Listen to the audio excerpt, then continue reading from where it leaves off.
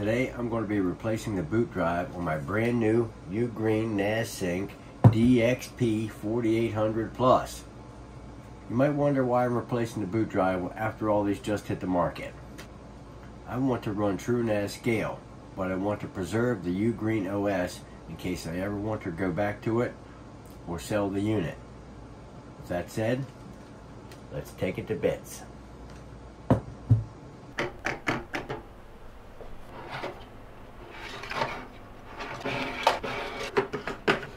So the first thing we're going to do is take the drives out of it first. And you'll pop pop these little rubber feet out of here.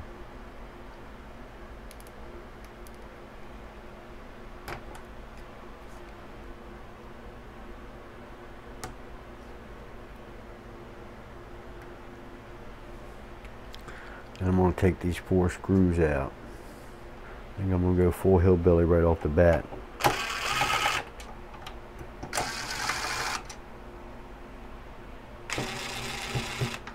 Alright. Let's dump the screws out of there. Alright, well they're not coming out right off the bat. Now, if you look down in here, There's a little channel right there and all the way in the corner. Right in there.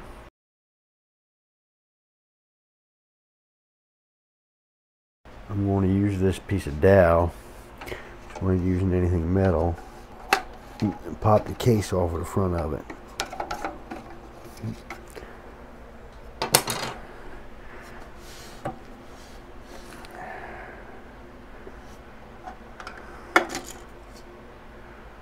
All right. Next is the fan.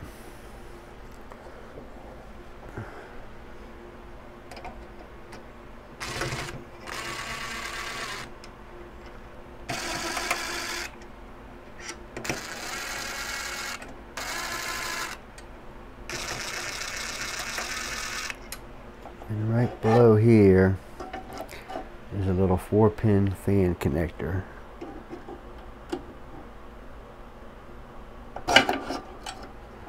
Alright, that's out of the way. I want to remove these four screws. Oh, Uno. Dos.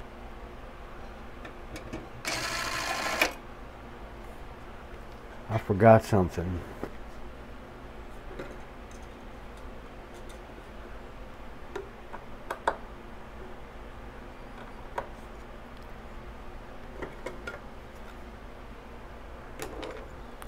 We got to push down on this little spring thing to let the housing out.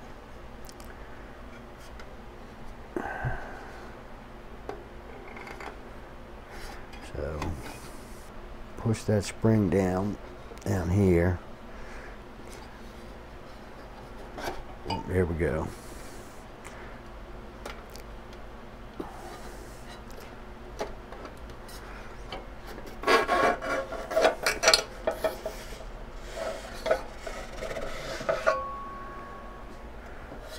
Okay. And right here is your boot drive. I'll, I'll put a note with it to what it is and what version. But I will be replacing it with this.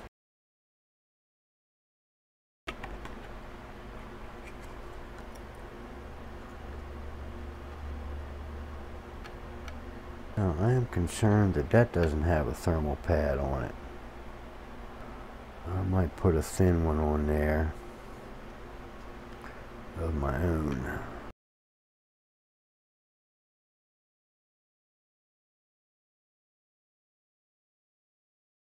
I got a matching pair of these Western Digital OEM Gamer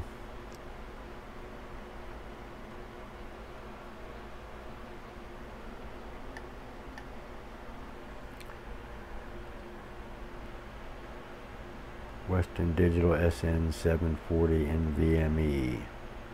256 GB.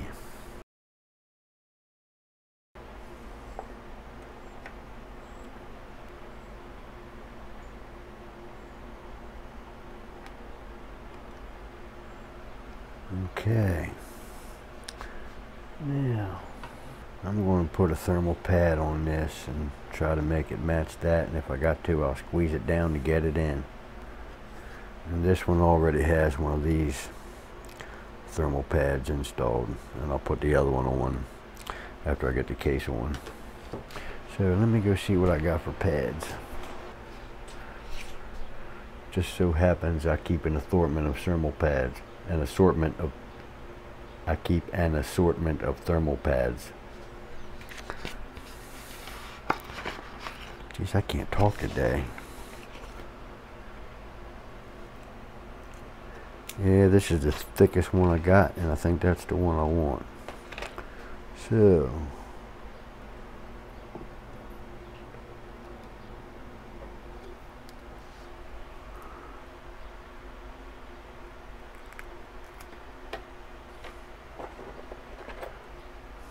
I'm surprised that the stock boot drive didn't have any kind of anything on it.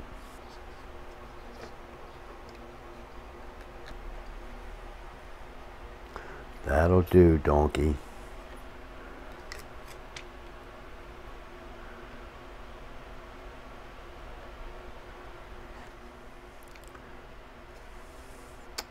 Now, I may try to leave that plastic on until the edge of the housing slides over it. You guys with me on this? Alright. That's surprisingly light without the housing and the hard drives.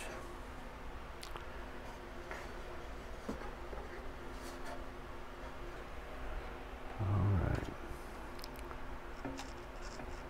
So there are slot on either side of the housing for the motherboard or these little locator pins right here to go in.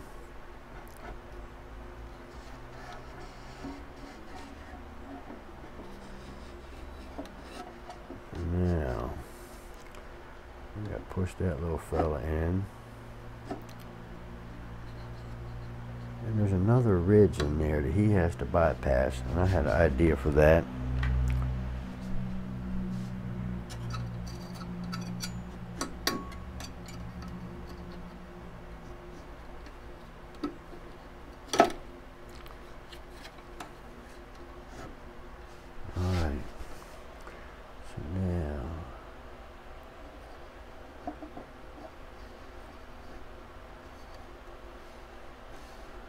Hoping that will make contact, but I don't think it's going to.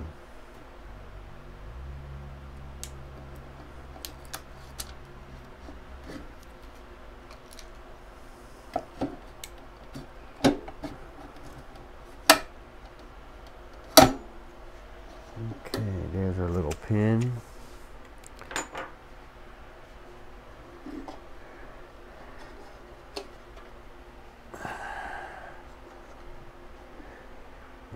screws back in.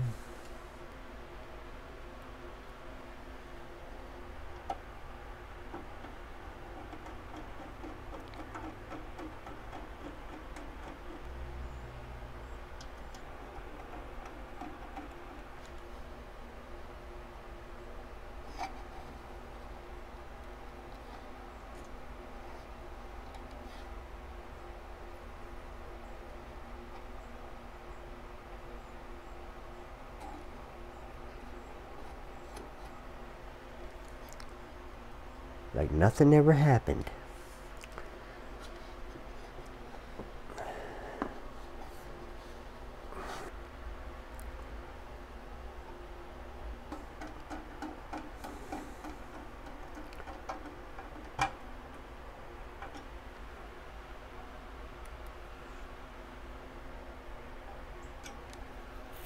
And now, for the fan. I will certainly be replacing this fan. Maybe tomorrow. I think Amazon has that one for overnight. I'm going to experiment with that thing blowing and sucking.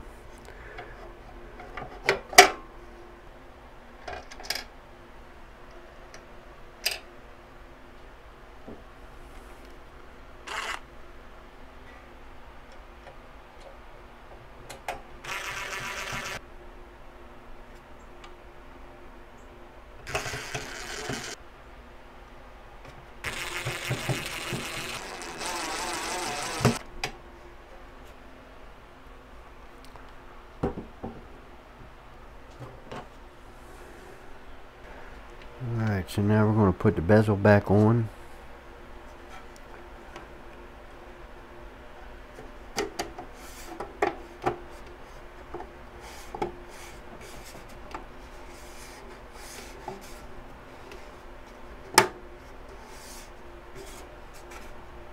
Alright.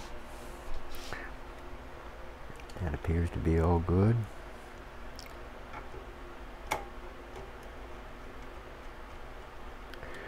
I ain't going to hammer these things down too hard because I'm going to be taking it right back off to put my fan on.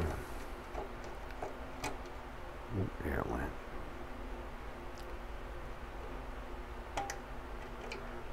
You know what? I ought to tighten it down because I don't want the damn thing to rattle between now and then.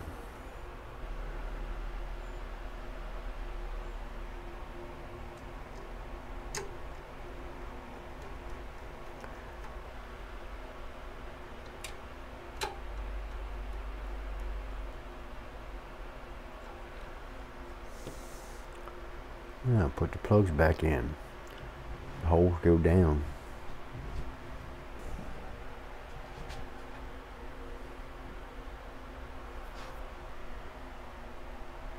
There appears to be an animal stuck under my house. All right.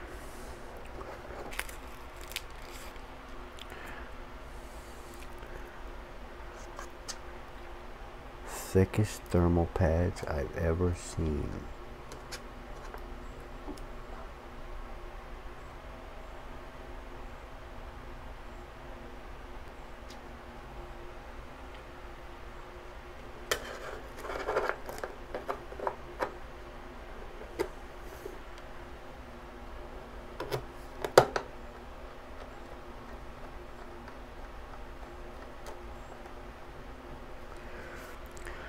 And that is.